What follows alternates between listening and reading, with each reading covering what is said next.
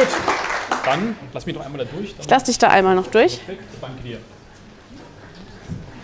Soll ich noch Uhr eigentlich oder nicht? Ah, Uhr. Ich lege mein Handy hin, weil wenn man mir eine Bühne gibt, dann muss man da auch ein Ende im Blick haben. So, also, ihr habt es schon ein paar Mal gehört, ich bin Sarah. Ich bin Editorial-Strategie bei den Netzstrategen und bei der Hallo Digital. Ich habe den ganzen Tag mit Inhalten zu tun, mit Text zu tun, auch mit Audio zu tun. Ich produziere auch einen Podcast und da braucht man viel Kreativität und regelmäßig Kreativität. Und wenn man was viel benutzt, das kennt ihr ja vielleicht, dann kommt man da auch manchmal an seine Grenzen. Deswegen habe ich mich damit viel beschäftigt und möchte es gerne mit euch teilen heute Abend. Ähm, ich gucke mal so nach hinten. Hört ihr mich denn gut? Spreche ich laut genug? Ah, geil. Cool. Ich habe hier noch etwas Unterstützung mitgebracht, mein Flipchart. Und zwar, die Textmenschen die haben ja immer so eine Affinität oder gerne mal zu Papier. Aber was ich gerne möchte, ist, ich möchte mit euch kreativ sein, ich möchte Ideen sammeln, ich möchte ähm, Prozesse, ähm, Inspiration sammeln, das aufschreiben, das gerne in die Präsentation dazu packen, was fehlt und es dann gerne mit euch teilen, dass wenn ihr selbst mal in einem halben Jahr oder so denkt, ah, bin einfach nicht kreativ oder ich stecke jetzt fest, ich würde gerne irgendwas machen, um es so ein bisschen aufzulösen, dass ihr dann einfach auf die Präsentation zurückgreifen könnt. Das wäre so mein, mein Traum. Scha schauen wir mal. ähm, genau, dann geht es auch schon weiter. Ich habe eine Agenda gemacht, so ganz klassisch und wie, ach, wie in der Uni. Aber dann wisst ihr, was auf euch zukommt. Also ich stelle euch gleich ein paar Fragen. Ich möchte gerne wissen, inwiefern ihr euch schon mal mit Kreativität auseinandergesetzt habt, ähm, wo ihr da steht, damit ich euch hoffentlich auch alle abholen kann, da wo ihr seid. Ich möchte euch gerne mitteilen, was das Ziel ist, wobei es habe ich schon ein bisschen äh, vorausgenommen, aber damit ihr wisst, auf was ihr euch, was ihr euch hier eingelassen habt und am Ende, falls ich es nicht liefere, dass ihr nachfragen könnt. Ähm, wir gehen ganz kurz auf die Theorie ein. Was ist denn Kreativität, damit wir da über das Gleiche sprechen? Weil, das werdet ihr vielleicht auch noch merken, wenn man da mit Menschen drüber spricht, hat man da einfach ein unterschiedliches Bild. Wir gucken uns Prozesse an, die Kreativität fördern können, wie man das üben kann, also das, was ich im Titel versprochen habe. Ich möchte gerne mit euch über die Denkweise sprechen, wie in, mit der ihr an Kreativität rangeht. Wir sprechen über so ein paar Dinge, die Kreativität fördern können. Wie ihr seht, ich, ich fasse mich gerne kurz. Ähm, wir sprechen über Inspiration, wo kriege ich die her, wie kann ich die vielleicht anderen geben, wie kann ich das üben. Dann kriegt ihr nochmal eine Zusammenfassung, wie sich das so gehört. Ähm, plus ich habe dann viel geredet, ist vielleicht cool, dann nochmal anzukommen. Und wenn ich so schnell war, dass wir noch Zeit haben, machen wir noch zusammen meine liebste Kreativitätsübung. Schauen wir mal, ob wir da hinkommen. So, dann als erstes frage ich nochmal, wo steht ihr? Wer von euch sagt, ich bin kreativ? Hebt gerne mal die Hand. Eins, zwei, drei, vier, fünf. Da kann man noch drauf zu sprechen. Sechs. Ja, ich würde mal so sagen, so ungefähr die Hälfte. Wer sagt, ich bin nicht kreativ, ich kann das damit gar nichts anfangen, schrecklich. Drei, vier, fünf. Wer hat sich enthalten? Auch ein paar enthalten, super. Ähm, wer hat sich denn schon mal damit auseinandergesetzt? Mal ein Buch gelesen, einen Kurs gemacht? Eins, zwei, cool, ich zähle auf euch. Drei, ich zähle auf euch, dass wir das Ding füllen und möglichst viel sammeln und weitergeben können. Genau, mein Ziel des Vortrags ist, ich möchte, dass hier alle rausgehen und wirklich verstanden haben, egal wo ich bin in meiner Kreativität, auch wenn ich sage, ich kann das gar nicht, ich kann das üben, das kann jeder lernen. Ich glaube niemanden, der sagt, ich bin nicht kreativ. Und auch die Menschen, die sagen, ich habe da schon mein Ding, vielleicht findet ihr noch was Neues. Bin mir sicher, dass hier viele eine schlaue Idee haben, die dann hoffentlich hier bei meinem Freund landet, die ich dann euch mitgeben kann. Also genau, ach, ich mag GIFs, das werdet ihr auch noch sehen. Also ich möchte, dass wir von der oberen Situation, ah shit, ich komme nicht weiter, egal in welcher Situation es ist, Kreativität braucht man nämlich ganz schön oft, in die untere Situation kommt und sagt, okay, ist jetzt gerade scheiße, aber ich mache was, damit es besser wird.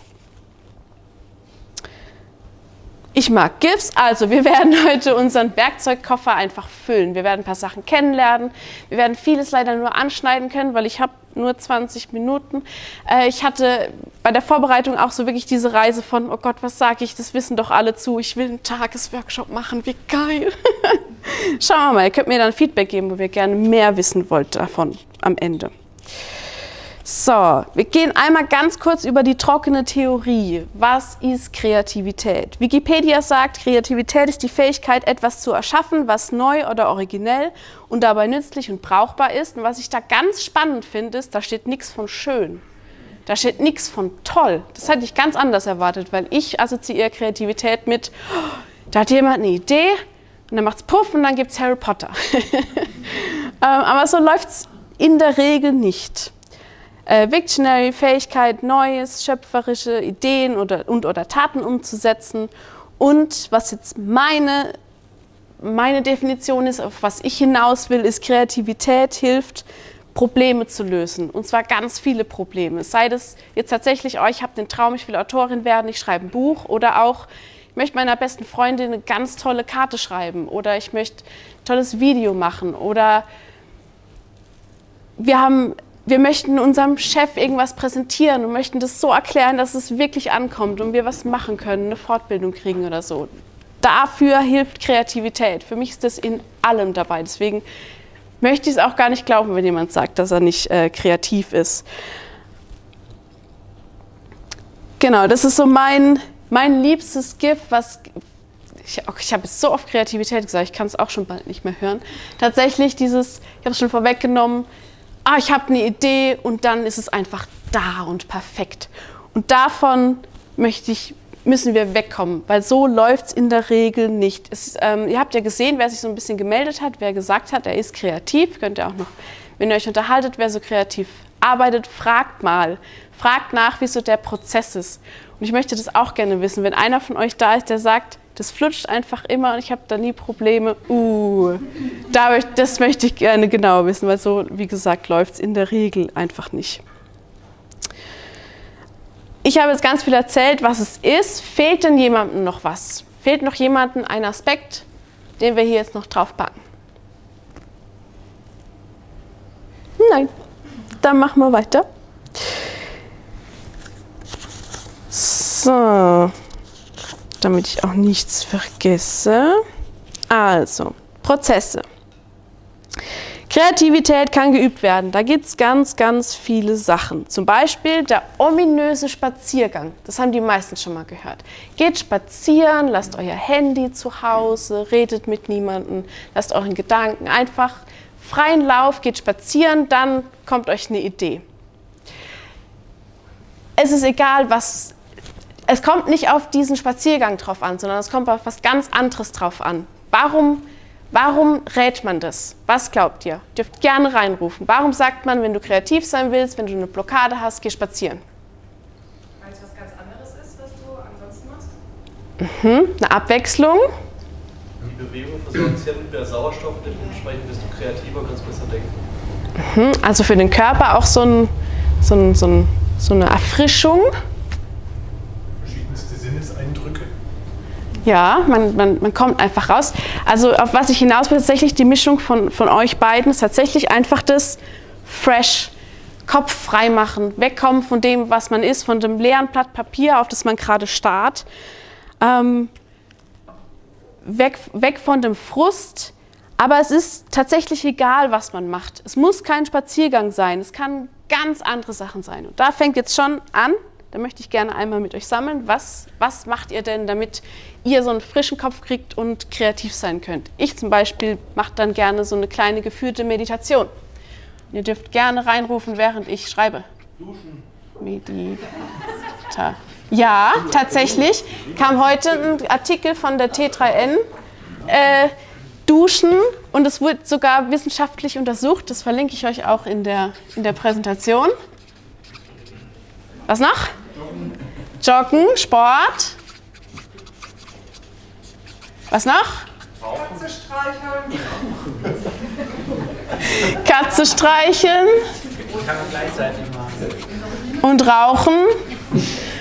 Okay, bei Rauchen, da komme ich auch später noch drauf zu sprechen, das würde ich so gleich Rauchen, Drogen, Pilze, Kaffee, Alkohol. Ja, da bin ich nicht so der Fan davon, muss ich sagen. Also vom Kaffee schon, aber nicht, nicht dafür. Das, was das, glaube ich, auch viel macht, ist auch dieses refreshen, man macht was. Wenn man raucht, hat man ja was in der Hand. Und wenn man was trinkt, hat man was in der Hand. Und das ist auch so dieses, den, den Kopf erfrischen. Noch was? Aufräumen. Aufräumen, ja. Spülmaschine aufräumen, putzen, ja. Ich lasse den Stift nachher da. Falls euch noch was einfällt und uns was fehlt, gerne dazu packen. Ähm, die dauerhafte Lösung, die ich euch geben möchte, die das alles quasi wirklich auch zusammenfasst und so ein Schritt drüber ist und Meter ist, ist die Denkweise, mit der man an Kreativität drangeht. Also ich habe ja vorhin schon gesagt, viele denken so, ah, okay, das muss leicht sein. Und dann jemand kann das oder jemand kann das nicht. Oder, ach, ich möchte es gern können, ich möchte gern diese eine Möglichkeit finden. Aber ähm, ich gucke jetzt auch mal in die Gesichter, ich weiß nicht, ob es euch auch so geht bei mir geht es immer irgendwann verloren. Also spazieren gehen hat mir super geholfen, bringt jetzt gar nichts mehr. Ist langweilig, ist, ich, mein Kopf schwirrt irgendwo hin. Meditieren funktioniert jetzt gerade, bald vielleicht nicht mehr. Ich sehe viele nickende Gesichter, es ändert sich immer. Also das ist so mein, mein Hauptding, auf das ich gerne hinauskommen möchte. Ähm,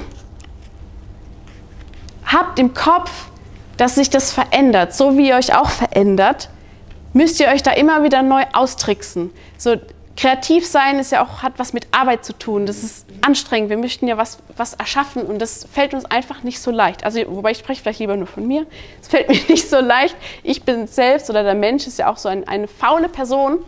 Äh, deswegen muss man da immer wieder so ein bisschen nachliefern und neu austricksen und gucken. Also, ich habe es aufgeschrieben, dass falls ich mich vor, vor ähm, Nervosität verhaspe, dass wir auch wirklich aufs Richtige kommen. Wir verändern uns stetig. Genauso müssen die Prozesse sich verändern. Also in dem Fall der kreative Prozess. Wenn ihr merkt, eins davon, und das sind auch noch mehr in der Präsentation, funktioniert nicht mehr, probiert was Neues aus. Geht da einfach dran mit, okay, ich kann das noch nicht so gut. Jemand, der zum Beispiel Fußball spielt oder Klavier spielt, kann das auch nicht von Anfang an gut. Der muss auch üben und immer wieder neue Sachen üben und da einfach dranbleiben und über diesen, Englischen heißt es The Dip, ich bin da noch nicht so ganz durchgestiegen, wie man es gut übersetzen kann, muss man über diesen Moment, wo es keinen Spaß mehr macht und echt wehtut und man nicht mehr will, darüber hinwegkommen. Es gibt kein magisches Mittel. Ich kann euch leider nicht die eine Sache mitgeben, außer diese Denkweise, dass ihr da immer dranbleiben müsst und euch immer wieder was Neues aussuchen könnt auch. Ist ja auch super spannend, dass man da neue Sachen ausprobieren kann.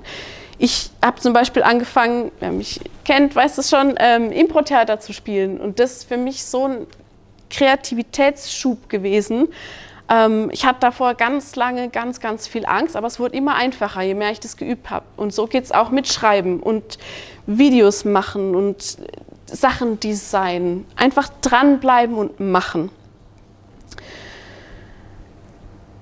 Genau. Dann möchte ich euch auch noch mitgeben, dass Kreativität nicht wirklich ist dieses, okay, es muss jetzt ein Buch sein ich muss jetzt ein gutes Buch schreiben oder eine gute Kurzgeschichte schreiben oder auch kleiner, ein geiles TikTok machen, das ganz, ganz viele Aufrufe hat. Das könnt ihr nicht so richtig kontrollieren. Da fließt die Kreativität nicht so. Aber was ihr kontrollieren könnt, ist, wie viel Zeit ihr da rein buttert, wie viel ihr euch damit beschäftigt. Also wenn ihr sagt, ich möchte, ich, ich gehe jetzt halt immer vom Schreiben aus. Ich möchte Autor sein, ich möchte erfolgreich sein, ich möchte ganz kreativ toll arbeiten, könnt ihr das viel besser erreichen, wenn ihr sagt, okay, ich arbeite eine Stunde die Woche, eine Stunde am Tag an diesem Ziel und ich packe das da rein und nutze die ganzen Kreativitätssachen, die jetzt noch kommen, äh, als wenn ihr sagt, oh, da muss jetzt eine Kurzgeschichte, wenn ihr euch äh, vor das Blatt Papier setzt und sagt, da muss jetzt eine Kurzgeschichte rauskommen. Oh no, das ist viel fancier, als ich das wollte. Bitte, Effekte, geil. Mhm. Mhm. Ich habe es schon ein bisschen vorausgenommen. Ähm, wie kann ich es üben? Man muss es machen. Den, Kreativ den kreativen Prozess, ihr müsst den machen. Es hilft leider nicht. Ich wünschte, es wäre so, wenn man einfach nur ein Buch darüber liest oder zu einem Vortrag geht oder ein Video sich anguckt. Das ist leider nicht, nicht der Knackpunkt. Und manche, ich, ich sehe schon und denke jetzt so, ja, ja, ich weiß. Aber ich möchte es euch trotzdem nochmal genau mitgeben, weil das ist, es ist schwer. Es ist so schwer, kreativ zu sein. Aber wenn man mal diese, diese Brücke überschritten hat und sagt, okay, ich mach's, ich mach's regelmäßig, dann wird es immer leichter und es tut immer weniger weh. So, wie könnt ihr üben? Ich gebe euch mal so ein paar Sachen mit. Wir sammeln dann später noch ein paar Sachen. Das ist leider nicht vollumfänglich. Also ich rede schon seit 14 Minuten und ich habe ganz viel nur angeschnitten und ihr seht, wie begeistert ich bin. Ich würde auf so viel gern noch mehr eingehen. Mein Lieblingstool im Moment sind Morning Pages oder Pre-Game Pages. Kann, man nennen, wie man will. Aber was es einfach ist, ist sind drei Blatt Papier oder jetzt zum Beispiel so ein, so ein Notizbuch und dann schreibt man einfach drauf los. Wenn man vor einer Blockade sitzt, wenn man was kreativ lösen muss und nicht weiterkommt. Sei es, wie gesagt, Content oder irgendeine Sache, die ihr lösen müsst. Facebook darf keine personalisierte Werbung mehr machen. Da muss man sich schlaue Sachen überlegen, wie kann man es damit arbeiten, wie können die Firmen trotzdem Werbung machen, wie werden die Leute informiert. Ähm, und sagen wir, ihr steckt fest, ihr wisst nicht, wie es weitergeht, setzt euch hin, nehmt die drei Blätter, schreibt alle eure Gedanken runter. Das muss nicht toll sein. Das muss nicht die Lösung sein, aber guckt einfach, dass es rausfließt. Das klingt jetzt so blöd, so ein bisschen esoterisch habe ich manchmal das Gefühl, aber es ist tatsächlich so.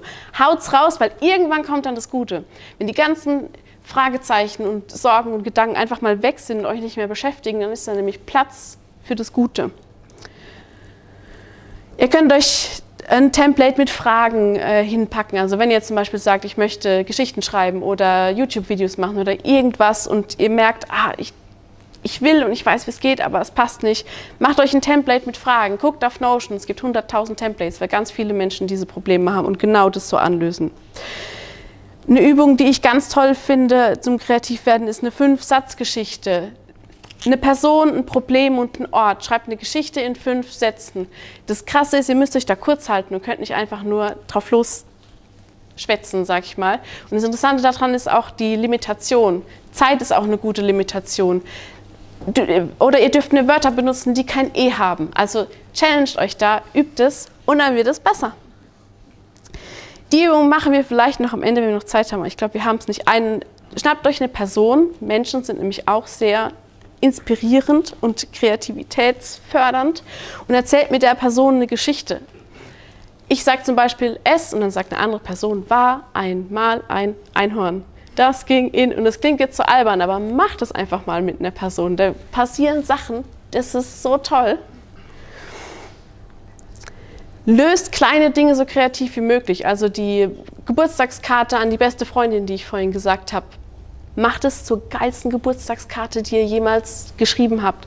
Oder ich habe mal eine Zeit lang äh, einen ehemaligen Treffen organisiert und die Einladungs-E-Mails, da habe ich mein ganzes Herzblut reingepackt. Das war bevor ich gearbeitet habe, noch in der Studiezeit, was ich da an Geschichten und kleinen Easter Eggs reingepackt habe. Völlig übertrieben und unnötig, aber es kam gut an und so habe ich mich einfach gechallenged, dass jede Woche irgendwas Besonderes dabei ist bringt einer anderen Person bei, was ihr macht oder bringt der anderen Person die Kreativitätsübung bei und macht die mit ihr. Ich habe vorhin mit irgendjemandem gesprochen und die Person hat gesagt, für mich sind andere Menschen das Inspirierendste. Und muss ich auch sagen, also wenn ich so einen tollen Vortrag wie von der Vanessa vorhin höre, dachte ich auch so, oh, was sie alles Tolles, Krasses macht, nutzt es. Ihr habt so viele wundervolle Menschen in eurem Umfeld. Die 1%-Regel ist noch so eine, oh, ich habe echt viele, ähm, ist noch so eine Übung, wenn ihr zum Beispiel dann so langsam reinkommt und merkt aber, ach, irgendwie ist es, es wird nicht besser, es schläft. Nehmt 1% davon, macht es besser, macht es anders. Zum Beispiel bei einem Video den Ton oder bei, ähm, bei einem Text die Länge. Sucht euch was aus. Wie gesagt, challenge euch selbst. Lest, guckt, konsumiert Sachen von anderen, Sachen äh, von Menschen, die ihr bewundert, die ihr toll findet. Schaut euch an, was die machen und wie sie es machen. Aktiv, nicht nur genießen, sondern auch wirklich gucken, okay, das, das nehme ich jetzt auch mal raus. Zum Beispiel, was ich gerne mal machen möchte, auch nie gemacht habe, von meinem Lieblingsbuch die Hauptperson nehmen und die in eine andere, huh, schade, und die in eine andere Geschichte reinschreiben. Äh, das bringt so viel. Genau. So, Dinge, die uns kreativ, kreativ ein bisschen fördern können. Zum Beispiel, Leute, die gerne schreiben, wissen es, Notizbücher und Stifte. Aber es geht gar nicht um, dass es das für jeden ist, sondern was es auch immer für euch ist.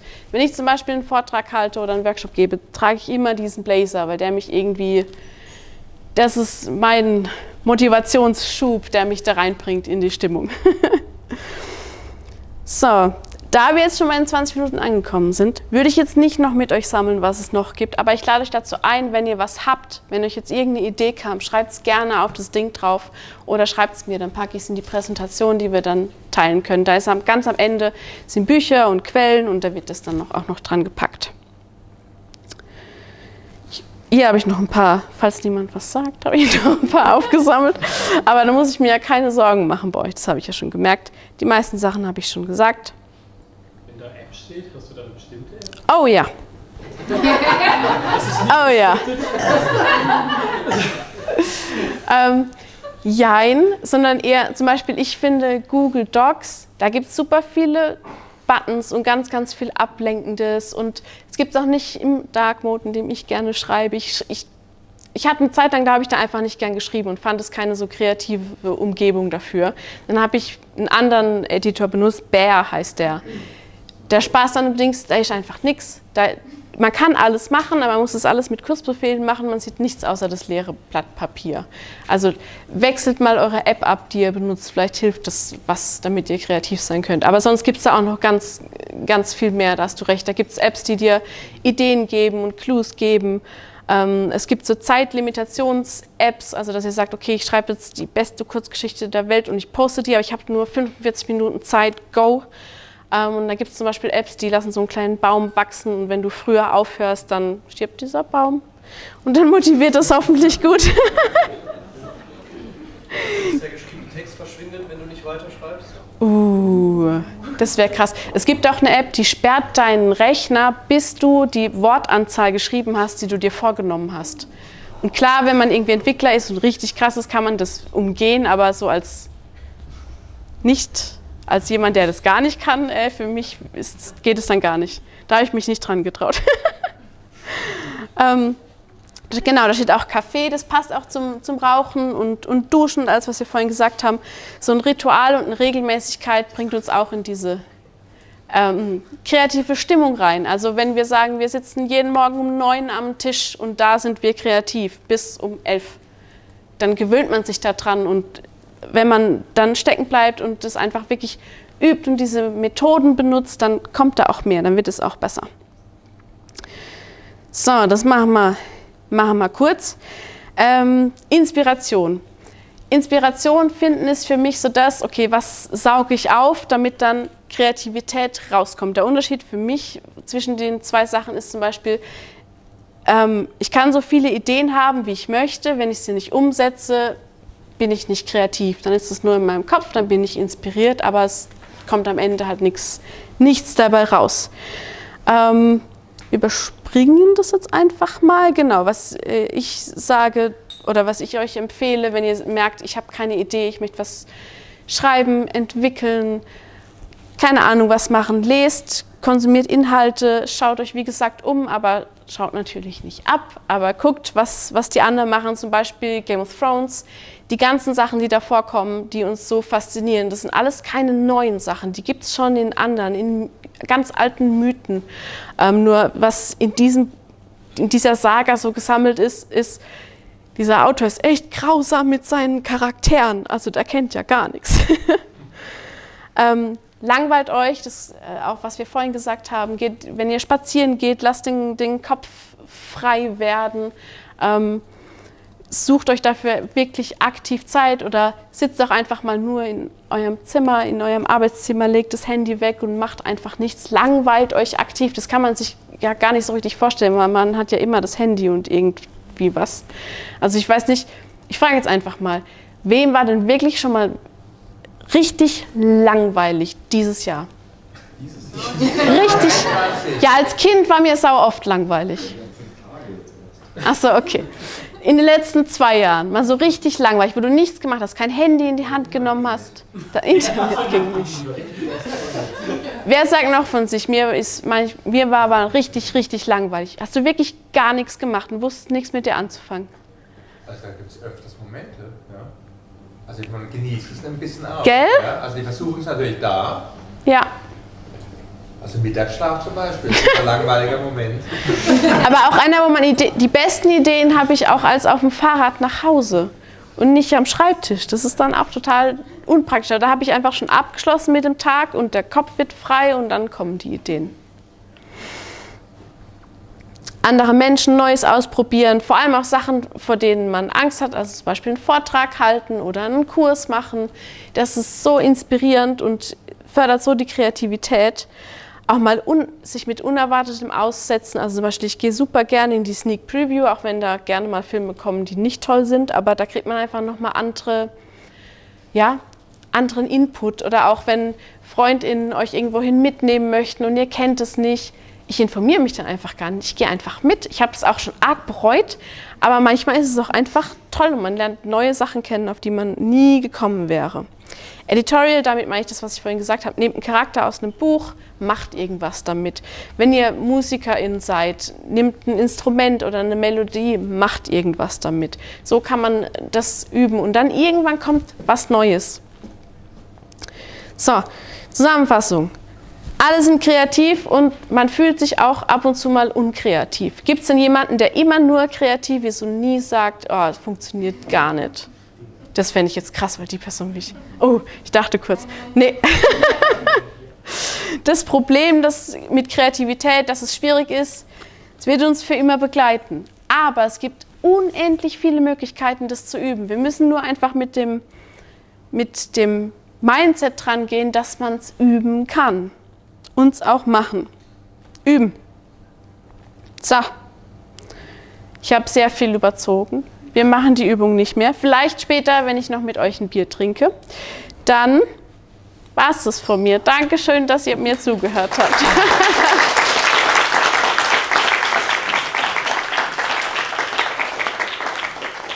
26, 26, 88 steht auf der Uhr. Sarah, vielen Dank für deinen Vortrag. ähm, Gibt es denn noch Fragen an dieser Stelle oder vielleicht noch Ergänzungen? Hat jemand noch ein, zwei Anmerkungen dazu? Ich habe eine ganz kleine Ergänzung. Äh, Schlafen hilft auch. Also der Mittagsschlaf, das war ein mhm. Da gerne auch Notizbuch neben dran legen. Manchmal kommt einem nachts dann wirklich Wir posten das auch nochmal auf Social, guter Hinweis, und dann wird das da vielleicht auch nochmal ergänzt. Genau. Schlafen, Notizen. Gut. Noch weitere Fragen? Oder allererst mal erschlagen. Am besten gehst du in die kleinen Runden, stellst dich dazu und dann kann die Geschichte erzählt werden. Ich nehme morgen früh mal drei Morning Pages und schreibe Kaffee, Kaffee und Kaffee drauf. Ja, tatsächlich. dann, dann ist er raus, der Kaffee. Ja? Erstmal muss der rein. genau. Aber ähm, ja, wunderbar. Vielen lieben Dank für deinen Vortrag. Und ähm, das war der erste Feierabend dieses Jahr. Und es geht weiter am 14. Februar, das ist der Valentinstag. Oh. Da könnt ihr euch sehr gut überlegen, oder vielleicht auch nicht, wenn ihr die Postillonmeldung noch kennt, oder dieses eine Ding, Mann wittert Falle, weil die Frau sagt, der Valentinstag wäre echt wichtig. Ich weiß nicht, wer, wer den Artikel kennt. Sehr lesenswert auf jeden Fall.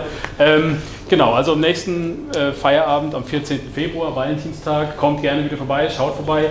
Teilt das auch immer mit eurer Community, euren Freunden, Bekannten, bringt die gerne das nächste Mal mit. Ähm, hat sehr viel Spaß gemacht, mir auch heute wieder hier vorne zu stehen mit der ganzen Bande. Und äh, vielen Dank auch an dieser Stelle noch an, an Solly, unsere neue Eventstrategin, die da hinter der Kamera steht. Uh.